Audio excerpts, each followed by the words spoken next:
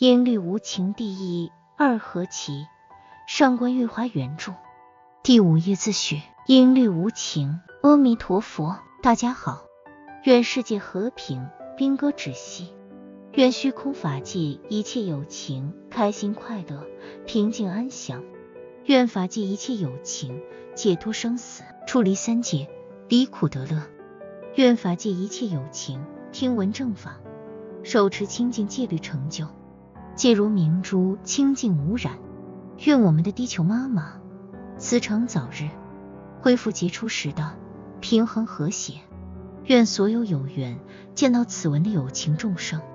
能辗转相告身边的亲友，珍惜过往，持守五戒而得来的宝贵人身，好好修行，利用此暇满人身来继续手持清净的戒律，提升我们内在的自信光明，早日到达解脱彼岸，让我们的灵性步向光明。若所有有情都灵性光明，将带给宇宙大自然一种自然的平衡。我们也不会有那么多的大工业天灾，所以可以说，为了整个大宇宙，需要先做好自己。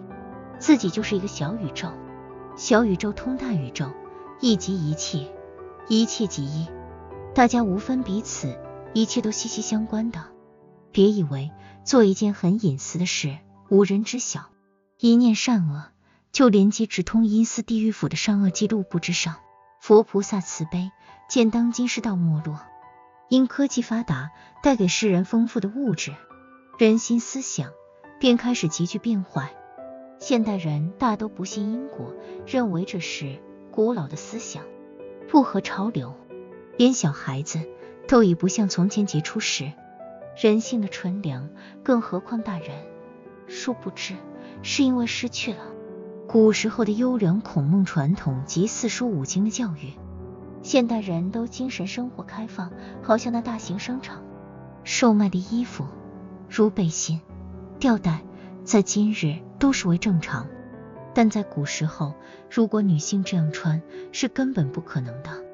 现在成人商店随处可见各大报摊的报纸内容及杂志封面，几乎全是三点式低胸的衣着。小孩子每天必定看见，想不学坏都很难。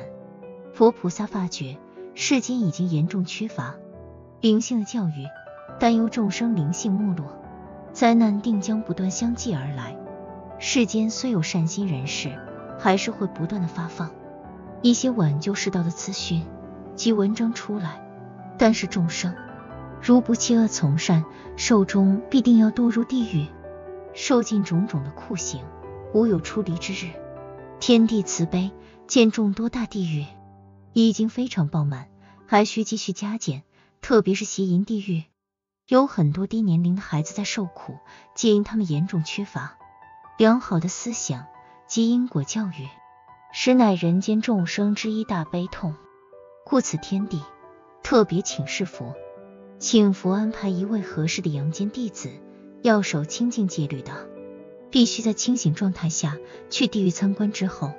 再返回人间，写出一本书籍，将地狱之情形详细记录，告知阳间众生。书名为《音律无情》。此书在每次参观地狱之后，以比较浅显的文字写出，而且每次写完都要经过修改，看过合乎真实情况才可登出。有时为了写好一篇报告，阿宇就要往返地狱多次，以核实内容。所以，跟以前阳间流行的腹肌或附体上身所写的善书，又或者是人在做梦时所说出的灵异经历，完全不一样。天帝希望此次破天荒，让我上官玉华将地狱情形公诸于世，能警示世人修心养性，从此不再犯戒犯罪，必定可大大降低受中入地狱受刑之机会。若能辗转香港这些地狱的实情，使更多世人醒悟过来，改邪向正，勤加行善积福，或能免去之前所造的地狱恶因之宝，转生福地，获得女转男身。当然，详细情形需要佛菩萨及因果来做具体定论。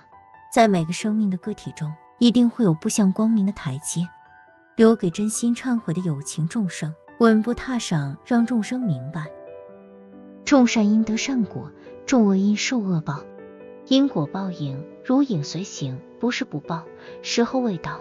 前些时候，佛开示阿育，叫阿玉去参观地狱之后，回来写文章，让大众明白因果，受持清净戒律。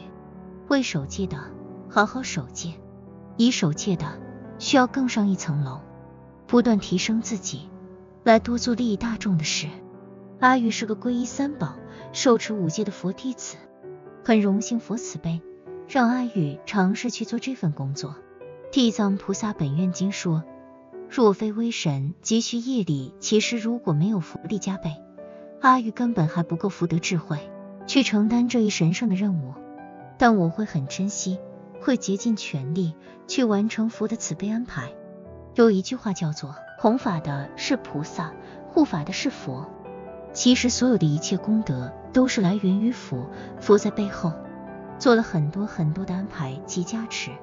只是我们大家不知不觉而已，所以大众要努力受戒报佛恩，施恩。惭愧弟子上官玉华敬笔。